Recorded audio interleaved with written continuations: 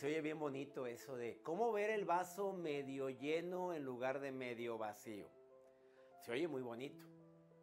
Pero del dicho al hecho hay mucho trecho. Y hay gente que batalla para ver este vaso medio lleno. Hay días, si te soy sincero, que yo lo veo medio vacío. Hay circunstancias o momentos de mi pasado que me hacen ver las cosas muy negativas o pesimistas. El día de hoy cuatro recomendaciones muy, muy prácticas para intentar de que veas el vaso medio lleno en lugar de medio vacío.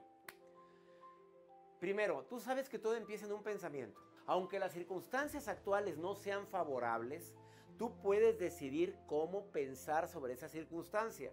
Acuérdate que los pensamientos dependen de ti. Te pido que te reserves el derecho de admisión de qué pensamientos permites cuando sientas que en lugar de medio lleno está medio vacío. No, no, no está vacío porque tiene esto y tengo esto y logré esto. La segunda recomendación, el cambio empieza en uno mismo. Cuando empiezo a cambiar y de todos los días hago el firme propósito de buscar lo bueno a mi alrededor, de enfocar mi atención en lo bueno que sí tengo, en quien sí me quiere. Por eso tú ves gente así, que acostumbran a ver la vida muy diferente a como la ves tú en, de manera negativa. Empiezo a crear ciertas conexiones nerviosas que me van a hacer que se haga costumbre. La tercera, valórate. Digo, ¿cómo voy a traer el amor a mi vida si no me siento, no siento amor por mí? ¿Cómo vamos a tener gente buena a mi alrededor que trabajen conmigo con armonía si yo estoy negativo y estoy nada más criticando y juzgando a los demás? Por eso tienes que llenarte de circunstancias que te hagan valorarte a ti y valorar a los demás.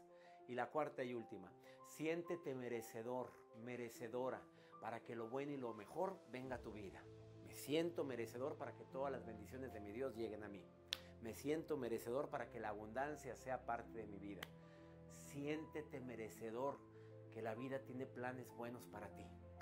Digo, es algo tan práctico estos cuatro, cuatro recomendaciones para ver el vaso medio lleno, no medio vacío. Me despido de ti con esta frase.